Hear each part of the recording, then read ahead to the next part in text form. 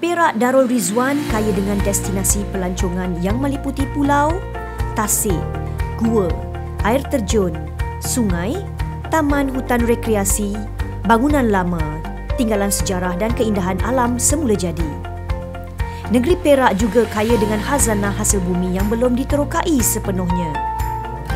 Dua buah tasik yang cukup dikenali oleh pemancing-pemancing tempatan di negeri Perak ialah Tasik Raban dan Tasik Banding. Pulau Banding merupakan sebuah pulau dengan keluasan 243 hektar dikelilingi oleh tasik temenggur iaitu tasik buatan manusia yang dicipta pada sekitar tahun 1960-an. Manakala tasik Raban adalah sebuah tasik semula jadi yang luas merentasi Sungai Perak.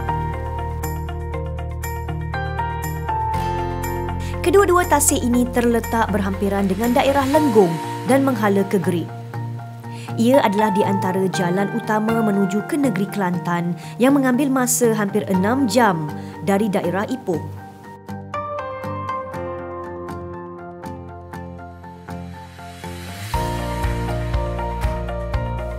Daerah Kecil Lenggong terbentang dari utara iaitu dari Kenering yang terletak 25 km dari Pekan Lenggong sehingga ke Pulau Kemiri di selatan yang juga terletak kira-kira 25 km dari Pekan Lenggong. Jarak sejauh 50 km itu adalah mengikut jalan raya yang bengkang-bengkok. Lenggong juga dikelilingi oleh banjaran gunung yang indah pemandangannya. Sesekali kita dapat melihat kabus tebal menutupi puncak banjarannya. Jika menaiki kereta dari Kuala Kangsar, satu-satunya jalan raya dari bahagian selatan, akan kelihatan banjaran Gunung Bintang di sebelah kiri jalan. Gunung Bintang merupakan puncak tertinggi di banjaran tersebut dengan ketinggian lebih kurang 1860 meter. Di sebelah kanan, terdapat pula banjaran Gunung Titiwangsa yang agak jauh ke timur letaknya. Dari banjaran ini mengalirnya Sungai Perak. Tasik Raban yang terletak di daerah Lenggong merupakan suatu destinasi yang mempunyai persekitaran alam flora dan fauna yang dikelilingi Bukit Bukau. Banyak pihak menyediakan perkhidmatan chalet, resort dan inap desa untuk para pengunjung di sekitar Tasik Raban. Pelbagai aktiviti riadah termasuk juga aktiviti yang mencabar seperti memanjat bukit, merentas hutan, memancing, air terjun dan menyusur tasik dengan bot panjang.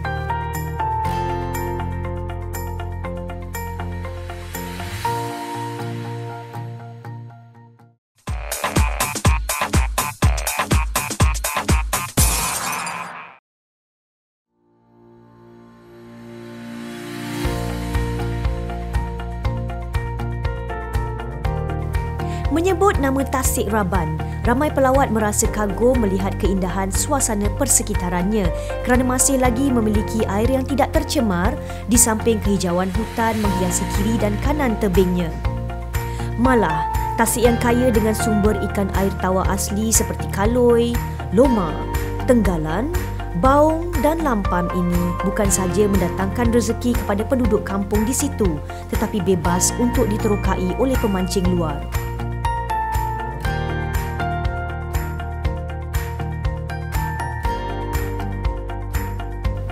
Kemudahan bagi tujuan aktiviti di Sungai Raban terdapat satu badan yang menyediakan perkhidmatan untuk pengunjung. Top Center diberi kepercayaan menguruskan Taman Rekreasi Tasik Raban sejak tahun 2007 lalu menawarkan pelbagai kemudahan dan empat pakej pelancongan menarik untuk pengunjung. Musim cuti adalah waktu yang paling ramai pengunjung yang datang bertandang bagi menikmati persekitaran Tasik Raban. Tidak ketinggalan juga bagi mereka yang hendak pulang ke arah pantai timur, pastinya tidak ketinggalan untuk singgah di sini. Penduduk tempatan di sini sangat terkenal dengan sifat ramah, mudah untuk pelawat mendapatkan pelbagai informasi berkaitan. Hasil pendapatan penduduk di sini antaranya dengan menjalankan perniagaan ikan pekasam hasil tangkapan dari Tasik Raban. Terdapat enam kampung mengusahakan inap desa di Tasik tersebut iaitu Kampung Beng, Kampung Baturing, Kampung Durau, Kampung Dusun, Kampung Beng Dalam dan Kampung Durian Lubuk. Pengunjung yang berminat menyertai aktiviti sukan air pula boleh menyewa bot kayuh atau kayak pada harga berpatutan mengikut tempoh masa yang dipilih. Beberapa lokasi kelong menternak ikan menjadi sumber pendapatan bagi penduduk di sini. Burung bangau menjadikan kelong ini sebagai tempat persinggahan sumber makanannya.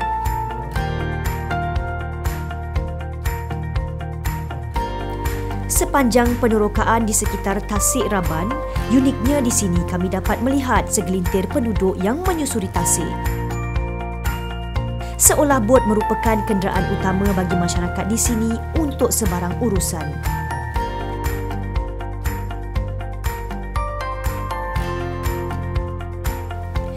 Perasaan mendebarkan apabila bot yang kami naiki untuk meninjau Tasik Raban boleh ditembusi melalui Sungai Perak.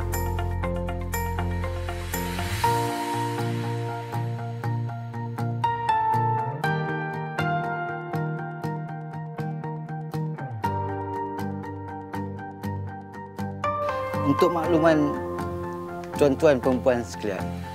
Tasik Raban ni ada keunikan dia tersendiri. Di sekitar Tasik Raban ni ada penempatan yang telah dihuni lebih daripada 200 tahun. Apabila kita apa menaiki bot, kita boleh lihat berbagai teknik nelayan tradisional kat sini.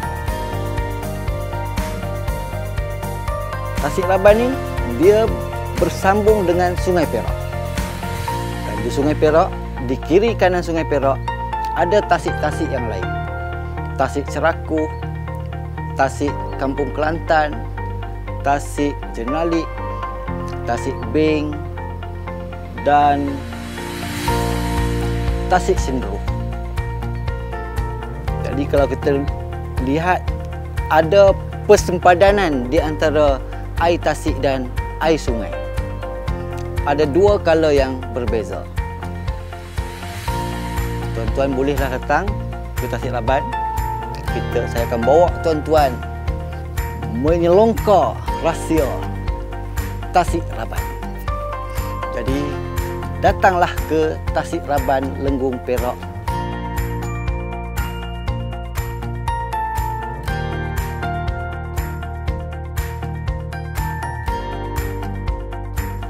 Mereka juga boleh menyewa bot untuk melihat pemandangan sekitar Tasik atau pergi ke perkampungan Melayu terletak dalam kawasan Tasik. Syarikat Tropical Outdoor Pursuit Center, Top Center yang menguruskan Taman Rekreasi Tasik Raban di daerah Lenggong, Perak.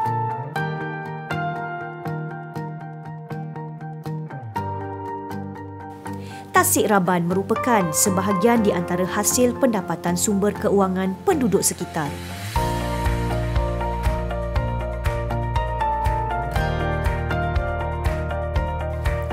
Jelas dapat dilihat di kalangan pengusaha ikan pekasam yang dijalankan oleh segelintir masyarakat di sini.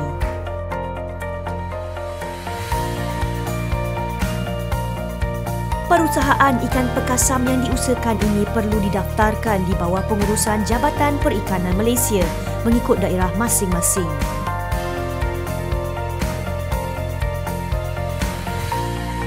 Ianya bagi melancarkan segala usaha yang dijalankan serta dapat dibantu oleh pihak kerajaan dari segi dana, kebajikan serta aktiviti edaran jualan dan sebagainya. Ikan pekasam adalah hidangan lauk yang sedap dan menyelerakan. Ia sangat popular terutamanya di bahagian utara negara kita.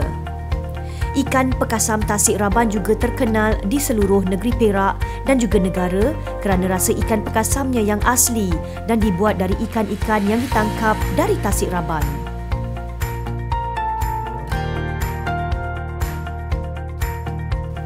Persekitarannya yang bersih di samping keharmonian hubungan di antara pekerjanya menjadikan hasil ikan pekasam ini sentiasa menjadi permintaan ramai. Lebih 20 jenis ikan dari Tasik Raban yang dijadikan produk ikan pekasam.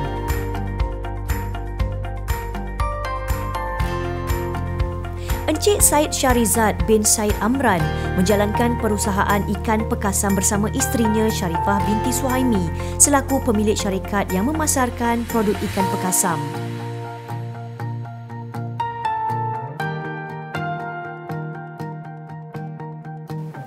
Produk ikan pekasam di sini akan dijual di kedai Encik Said Syarizad yang terletak di hadapan Pusat Transformasi Produk Perikanan Lenggung. ternyata ikan pekasam menjadi kegemaran penduduk setempat dan masyarakat di Malaysia.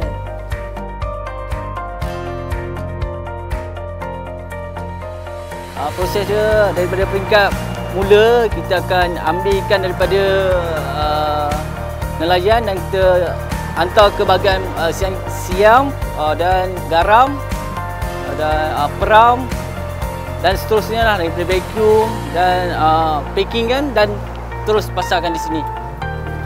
Okey, uh, sekarang uh, kalau macam pelanggan sendiri nak dapatkan kita punya produk, kita di, ada di Kampung Kelantan di tepi jalan lah. Dekat sini kebiasaannya kalau musim perayaan uh, pelanggan akan uh, membeli di sini lah. Dan hari Minggu lah. Uh, package jualan kita kalau dekat sini kita uh, jual 3 paket RM10 lah. Dekat sini kita ada tulis dekat sini jenis-jenis ikan, ikan talpia, campur, loma dan sebagainya lagi. Pada semua pelanggan-pelanggan saya nak dapatkan bekalan ikan ni datang ke uh, gerai saya di Kampung Kelantan.